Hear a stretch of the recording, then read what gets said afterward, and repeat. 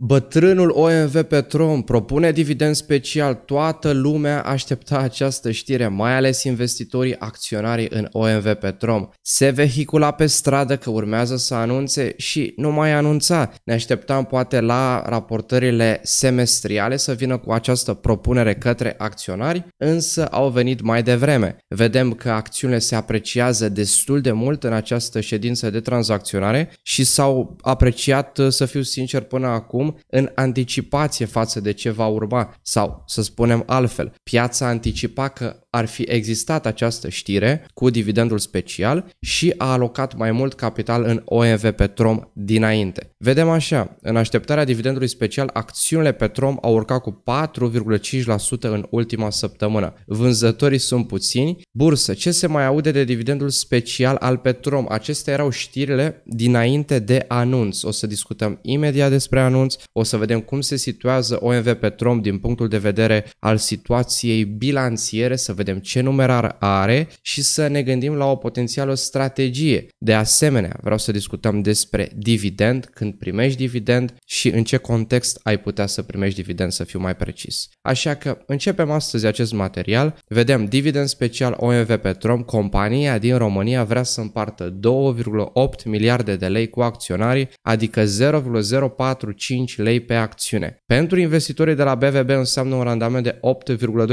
8,2% și dacă dacă vrem să cumulăm cu dividendul din trecut care a fost plătit, ajungem spre 20% randament al dividendului. Este uriaș pe bursa de valori din București. Vedem așa în piață, OMV Petrom urcă cu 2,19%,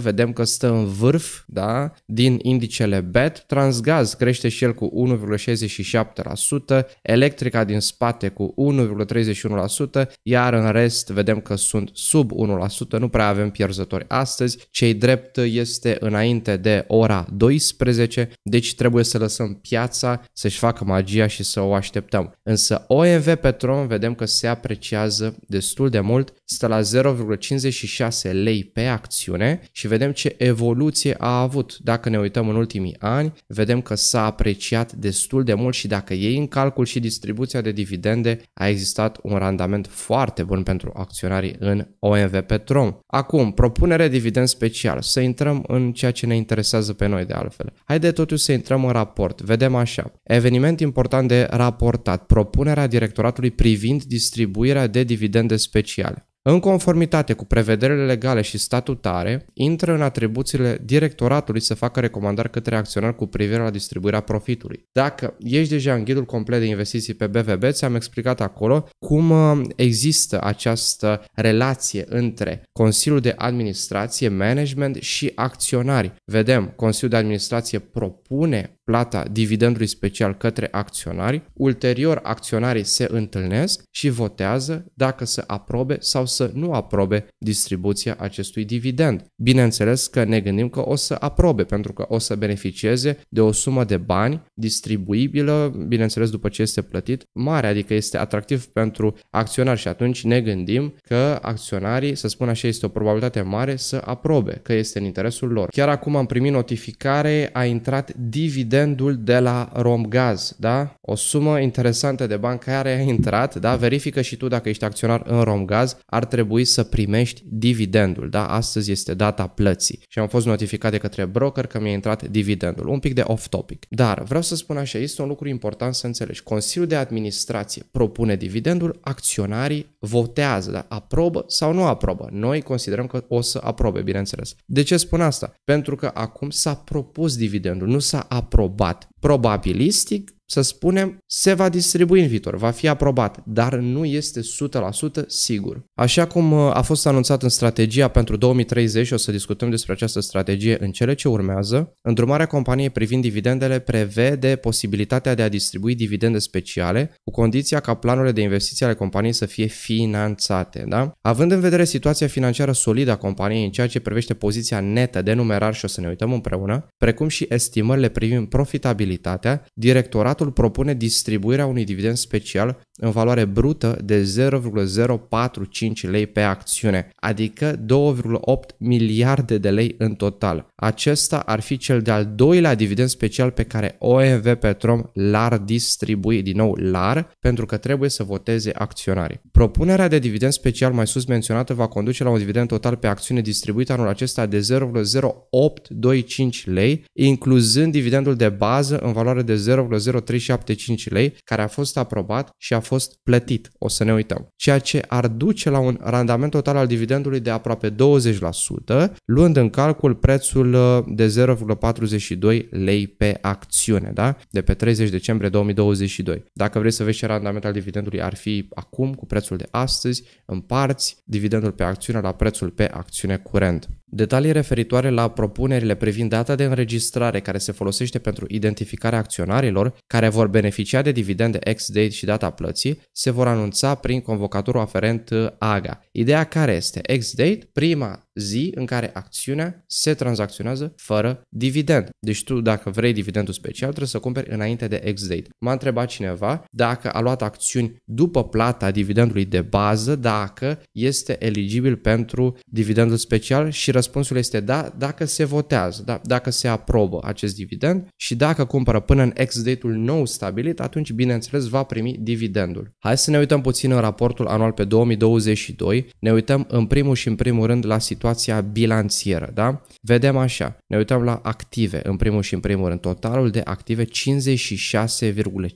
miliarde de lei, da, atenție, miliarde, vorbim de miliarde aici, și dacă ne uităm uh, la datorii pe termen lung, 7,8 miliarde de lei, datorii curente 9,4 miliarde de lei, vedem uh, total capitalul propriu și datorii 56,5 da, miliarde de lei. Și atunci, vedem că are o poziție destul de puternică OMV Petrom. Dacă ne uităm pe partea de cheltuieli, venituri și cheltuieli, au avut niște rezultate excepționale în 2022, 57,6 miliarde de lei, vedem total venituri din vânzări și alte venituri, cu o profitabilitate de 10,2 miliarde de lei. Și a fost discuția despre taxa de solidaritate pe care ar fi trebuit să o plătească OMV Petrom. Până la urmă o să plătească mai puțin decât s-a vehiculat prima dată în partea legislativă, ceea ce este foarte bine pentru acționari. Am spus asta dacă urmărești canalul de ceva timp. Am acoperit OMV Petrom, am acoperit uh, raportul anual 2022, primul trimestru din 2023 și am discutat despre taxa de solidaritate și despre mișcările legislative, ce s-a vorbit și ce s-a întâmplat. Dacă ești alături de mine și te-au ajutat acele informații până acum, te rog să lași un like la acest material, nu uita, ajută canalul și bineînțeles te rog să-mi lași un comentariu. Tu deții OMV Petrom,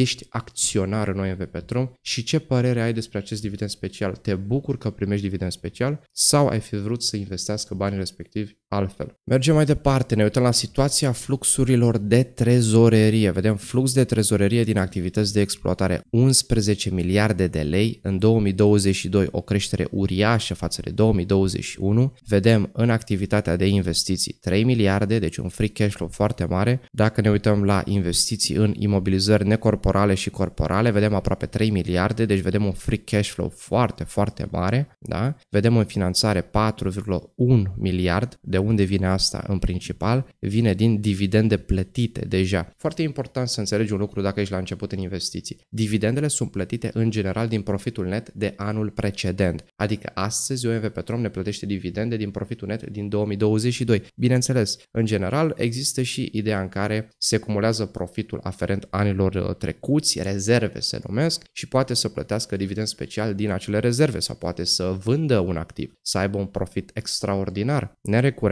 și atunci să plătească dividende de acolo, o companie vreau să spun. Deci este important să înțelegi că dividendul pleacă din profitul net din anul precedent în general, da? Vorbim aici în general. Acum, hai să discutăm puțin despre strategia OMV Petrom cu privire la dividende, da? Politica de dividende, dacă vrei. Vedem așa. Propunerea noastră pentru acționari este clară. Creșterea investițiilor, creșterea profitabilității și a dividendelor, asigurând totodată o afacere sustenabilă pe termen lung prin tranziția noastră energetică. Ne propunem să menținem o abordare abordare disciplinată privind capitalul, investind în același timp aproape 11 miliarde de euro și realizând un ROACE de peste 12% în 2030. Ne așteptăm ca acest lucru să întărească securitatea aprovizionării României și a Europei de Sud-Est, precum și reziliența energetică a UE. Și vedem așa, ne propunem să creștem de peste două ori rezultatul din exploatare da, până în 2030 față de 2020. Deci în 10 ani vor să aibă o creștere de 100%, suntem încrezători că acest lucru ne va permite să creștem dividendele de bază cu 5 până la 10% în medie pe an pe parcursul deceniului în linie cu profiturile. Deci OMV Petrom ar fi un dividend growth stock, adică o acțiune care plătește dividende în creștere, atât probabil rata de distribuire o să crească, cât cel mai important baza o să crească, adică profitul net de la un an la altul și atunci dividendul o să crească. Ceea ce este nemaipomenit dacă adopți o strategie de dividend growth, precum am prezentat în masterclassul de investiții. Acum, în ceea ce privește randamentul total pentru acționari, am distribuit cele mai mari dividende anul trecut cu un randament competitiv de 15,9%, reflectând și primul dividend special distribuit de compania noastră, da, pentru că a plătit în trecut un dividend special. Dividendele totale plătite în 2022, atenție, vorbim de anul trecut, s-au ridicat la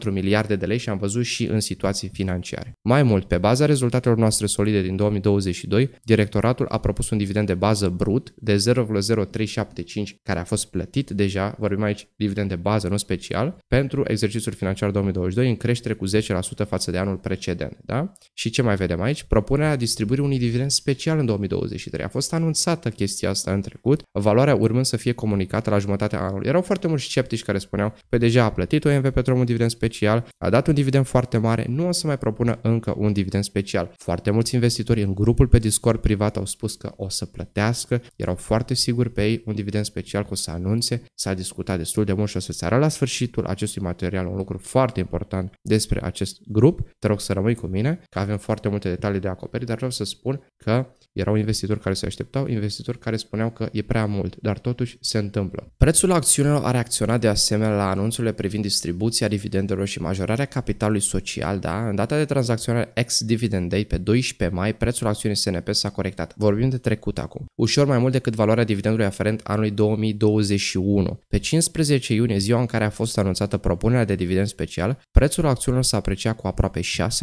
pe parcursul zilei și cu 3,9% la închidere. La data de tranzacționare ex-dividend special, da, special să spun așa, din 10 august, prețul acțiunilor SNP s-a corectat cu 8%, 0,0425 lei pe acțiune. Bine să vezi un pic istoric, să vezi care a fost comportamentul pieței la aceste distribuiri și, bineînțeles, în data ex-date, să vezi pe bursă cum s-a corectat. Pentru că știi foarte bine, în momentul în care se ajunge pe ex-date, prețul pe acțiune ar trebui să scadă cu valoarea dividendului ceteris paribus, dacă păstrăm toate celelalte variabile constante. Acum, evoluția indicilor pieței de capital locale a reflectat, de asemenea, volatilitatea crescută atât a mediului de piață, cât și a regimului specific fiscal și de reglementare din sectorul energetic. Indicele beta a închis anul la un nivel mai mic, cu 11% față de valoarea de la finalul anului 2021. BET-TR, da, care este randament total BET, s-a depreciat cu doar 2% în 2022 față de anul 2021, deoarece majoritatea acțiunilor din indice au distribuit dividende atractive. Indicele BET-NG, care cu cuprinde acțiuni ale companiilor din domeniul energiei și utilităților, în care OMV Petrom are o pondere de aproximativ 30%, a avut o performanță mai bună comparativ cu indicele principal și a scăzut cu doar 5%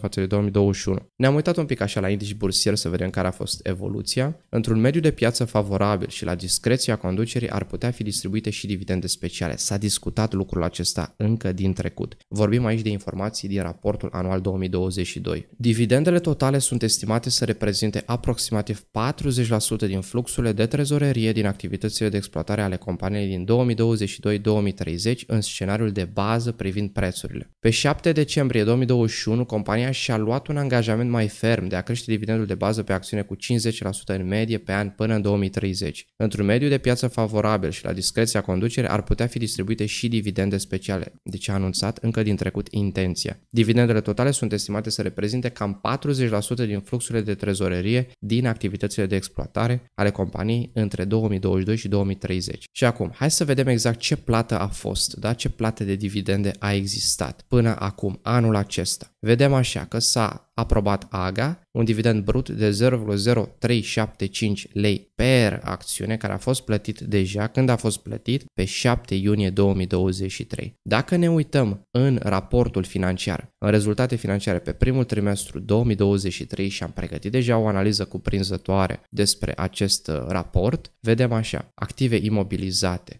da, 33 miliarde de lei, total active 59,6 miliarde de lei. Dacă ne uităm la partea de numerar și echivalente de numerar, vedem ce poziție puternică are în cash OMV Petrom, 17,5 miliarde de lei. Deși plătește foarte mult, are rezerve bănești foarte, foarte mari. Acum, să ne ducem puțin la fluxuri de trezorerie, să vedem cum se mișcă banii, da? Vedem așa, în primul trimestru 11,3 miliarde de lei flux de trezorerie din activități de exploatare, mare, în investiții s-au dus 3,2 miliarde, deci un free cash flow foarte, foarte mare și ce mai putem să vedem?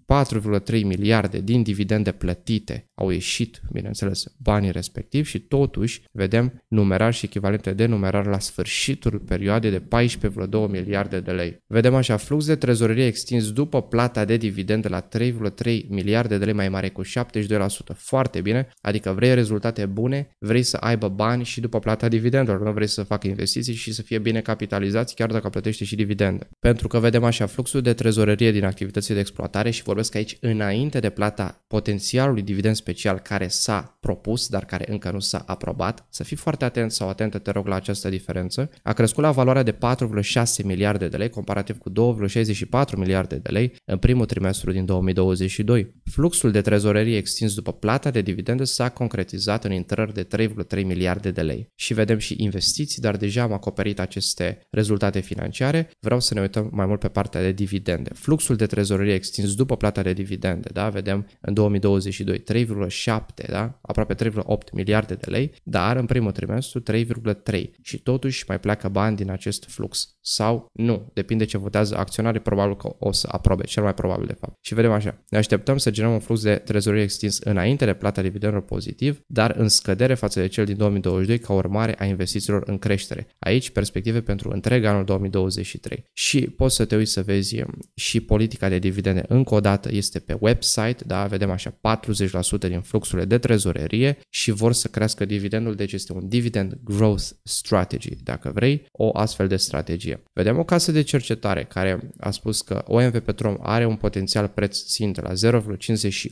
lei pe acțiune și dacă ne întoarcem puțin să vedem, acum stă la 0,56 lei pe acțiune, deci au avut dreptate, aproape a existat convergență. Foarte interesant să vezi cum analiștii își fac bine treaba, piața respectă acest preț țintă pe care și tu îl poți stabili și tot timpul sugerez să pregătești metode de evaluare pentru compania în pricină. Un lucru foarte important pe care vreau să ți-l arăt este următorul. Multe persoane se plâng că noi nu avem date frumoase și cu infografice, să spun așa, pentru companii, da? Intră pe BVB Research, este gratis, nu trebuie să plătești absolut nimic. Intră la comparații pe BVB Research, după care aici introduci numele companiei OMV Petrom și ai valuation items, profitabilitate, eficiență, creștere, sumar. Deja pentru tine vedem că cei de la BVB îți oferă aceste date și îți arată și cum stă compania respectivă față de peer group, da? față de ceilalți jucători comparabili, cu potențial comparabil, să spun așa. Acum vreau să discut puțin despre strategie. Dacă tu deții OMV Petrom, întrebarea este, de ce deții OMV Petrom? Vrei să deții pe termen lung? Dacă vrei să deții pe termen lung, nu trebuie să te influențeze aceste știri. Ia dividendul respectiv, reinvestește dividendul respectiv în OMV Petrom dacă vrei să acumulezi o poziție mai mare sau ia dividendul din OMV Petrom și du banii în alte alternative unde tu crezi că mai este potențial de acumulare. Nu vinde neapărat o companie care este un cash cow doar pentru că vrei să marchezi un profit, pentru că profitul respectiv este pe termen scurt și tu dacă vrei să ai o viziune pe termen lung și să fii acționar în această companie și să ți se aprecieze valoarea, dacă ei reușesc să perpetueze rezultate bune, atunci rămâi acționar în OMV Petrom. Este o companie interesantă. Eu nu sunt încă acționar în OMV Petrom, însă vreau să fiu acționar în această companie companie, odată ce îmi mai optimizez portofoliul, dar nu contează asta despre mine, mai mult este vorba despre tine în acest caz. Ideea este că tu trebuie să fii foarte, foarte calibrat când investești. Dacă tu ai investit în OMV Petrom, ține banii respectiv, ține investiția, bucură-te de dividende, pentru că, până la urmă, de ce crezi că îți distribuie OMV Petrom aceste dividende? În momentul în care o companie, să spunem, distribuie dividende, o face pentru că această companie consideră că tu poți să pui banii la un randament mai mare decât ar putea ei să investească banii, da? Și te plătește dividende pentru că știi ce se întâmplă? Mulți zic, a, când ai un milion de euro, e foarte ușor să faci 2 milioane de euro, față decât uh, dacă ai 20 de mii să faci 40 de mii. Poate că da, dar de la un miliard în sus nu mai e așa ușor să dublezi, nu mai e ușor așa să faci randamente mari, sunt și riscuri. Și atunci OMV Petrom își ia o mare parte de bani, o investește în proiecte interesante, dar o altă parte de bani, pentru că au foarte, foarte mulți în 2022 a fost în favoarea lor curentul, uh, să spun așa, macroeconomic și prețul țiseiului și mai multe lucruri și atunci îți dă o parte ție să investești. Așa că investește cu cap și nu pleca din OMV Petrom dacă ai o teză de investiții pe termen lung. Știrea cu OMV Petrom s-a dat la 8.57, da? În grupul pe Discord privat te așteptăm în acest grup. Ai link în descriere, nu mai tergiversa, doar apeși pe link, îți pui un username și vii alături de noi doar dacă vii cu un gând pozitiv, doar dacă vrei să vii să înveți, doar dacă vrei să ajuți și pe alți membri. Nu este obligatoriu să ai contribuții, să spun foarte